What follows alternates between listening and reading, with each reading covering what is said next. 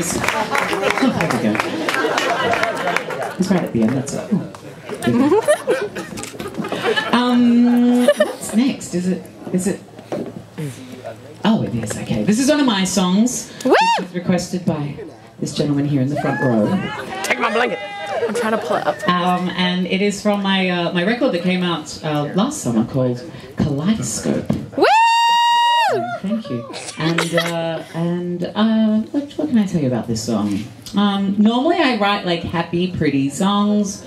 I used to be like the eternal optimist. Not that I'm like the eternal pessimist anymore. I think I'm more of a realist now. I was one of those painful optimists who could just find a silver lining in everything, and it made other people really annoyed. Um, and uh, and this song, I remember like I, I'd been out the night before, which I wouldn't normally do when I had a songwriting session, and I was a bit hungover, and I was like, I'm gonna cancel. I feel horrible, and I just. Ugh.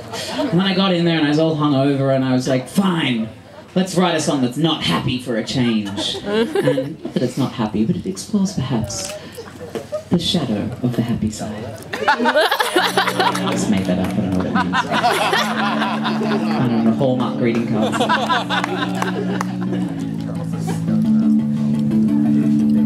The sun is up and I'm coming down.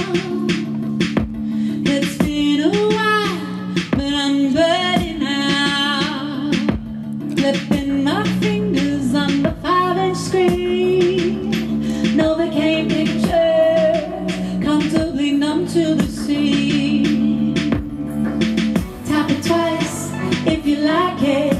it twice if you like it. Think twice. You may not like it, like it or not.